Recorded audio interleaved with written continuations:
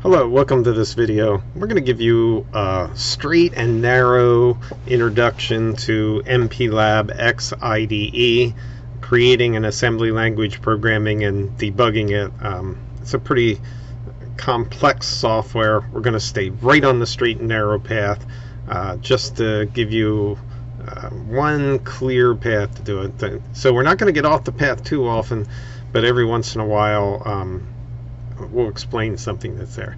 So uh, let's go back to the software. When you bring it up, this is what it looks like.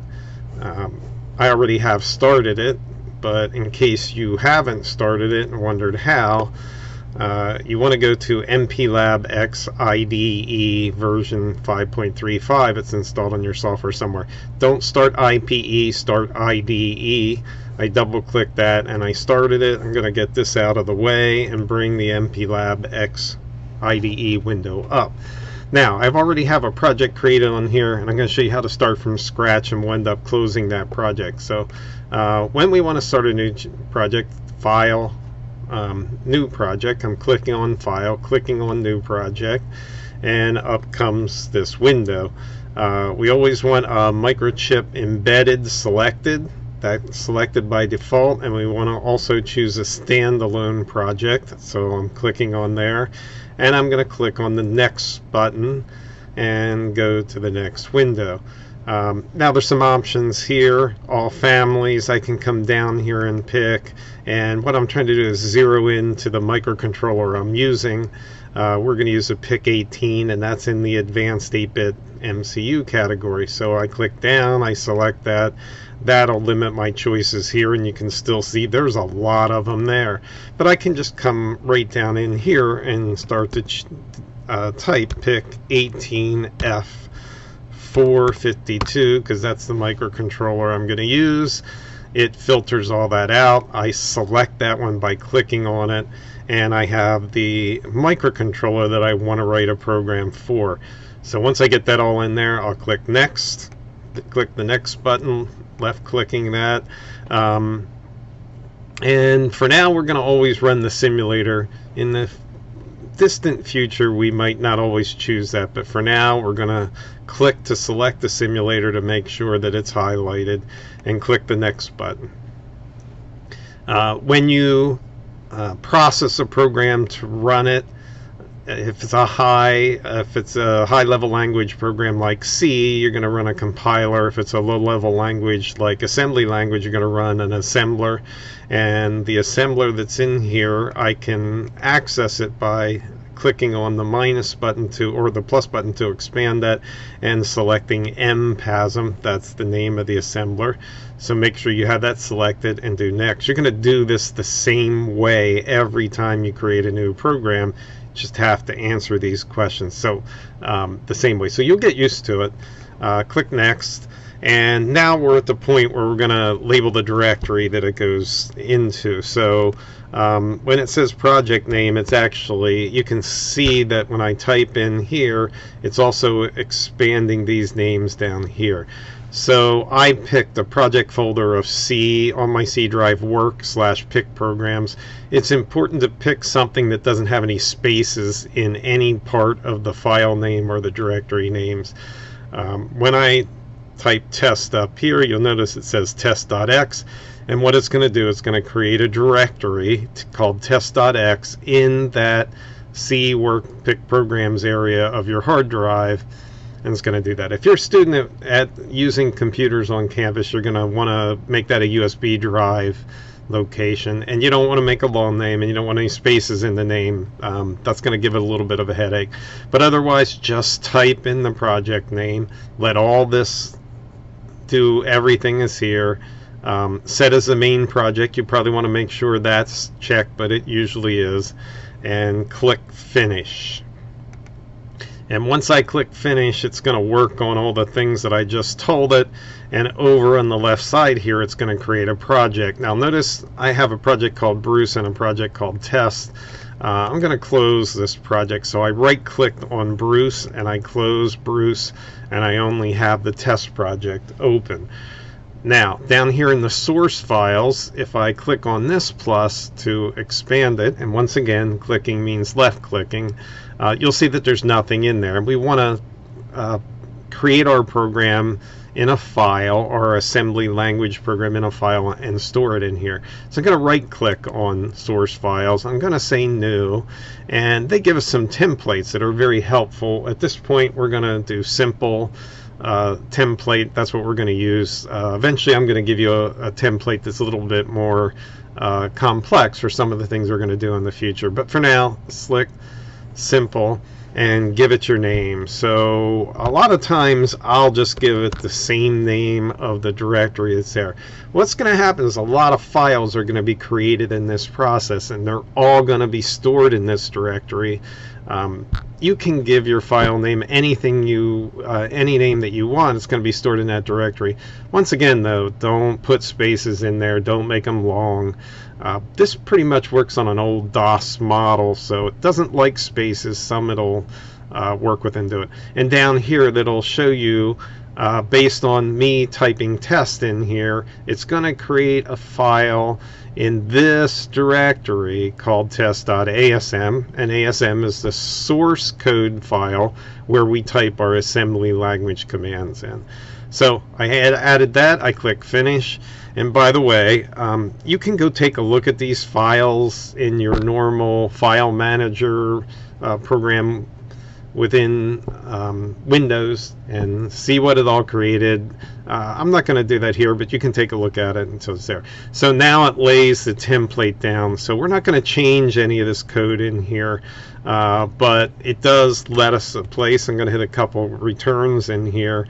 It does have a place here where we can actually type commands. So I'm going to type a program in here, just a one I'm going to move a literal value into the W register. So I'll type MOVLW instruction. And I'm going to put hex value 3E in there. And this is one way to do the hex value and type it in. And, and we'll put a comment in there too while we're at it. Um, so we're going to say the W register is going to end up with the hex value uh, 3.5. And that program looks pretty good to me. All this other stuff is necessary, so don't change it. You're going to get an error, um, and things won't work right if you're there. There's some windows down here. Uh, different things are displayed, and we'll talk about them once again, just very quickly, so we can go right through this. What I'm interested now is is um, assembling this program. I'm going to process it to create a file that can run uh, in there. And this is the button up here. There is a pull down for this button that says debug, debug main project or launch debugger for the main project. We're going to click, just click on that button and the output window um, should come up and it says it builds successfully if you didn't make any errors. It's a pretty simple program, so we probably aren't going to have any errors, but you, you're going to have to run with errors for a little bit. Um, and get used to them uh, and figure out what they are and figure out how to correct them before you do it. I've used this for a while, so I'm not going to get too many errors here. The other thing I want to show you is this is now in debug mode and it's going to let us single step the program and it's sitting right at the top. That's not the default.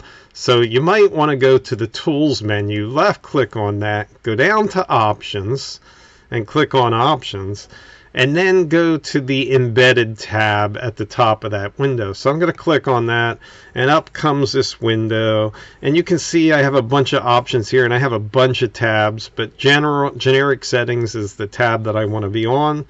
I come down through here and you'll notice it says debug startup and I pulled this down and selected halt at main you probably want to do that too because what ends up happening when you go into debug mode if the program runs on its own automatically, which is the default, you, are probably not going to want to do that. You want to see things from the very beginning what's there. So I would suggest uh, selecting halt on main, hitting OK. Once you do that one time, you won't have to do it again on your computer. So I already had it set up. I wanted to show you what's there.